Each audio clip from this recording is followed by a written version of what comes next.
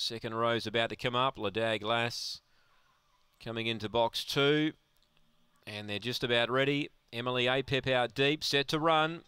So welcome everyone. 135 Coorong Nugget looking to get punters off to a flying start. They're ready.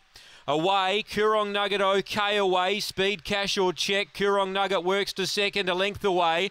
A length away third, Ariba Ariba. Deep out was Jamie Lannister. Then Ladag Lass. Last of all is Emily Apep. Well, Coorong Nugget went up and joined the leader who got through now. Jamie Lannister took over and kicked a length on Coorong Nugget. Jamie Lannister bursting away from Coorong Nugget. I'm not sure how it got to the position it was, but it got away and won the race anyway. Held Coorong Nugget. Third Ladag Lass, I think, from Cash or check. Ariba Ariba, Emily Apep. Would love to see the video of that race again. Jamie Lannister, hard against the rail, takes the first.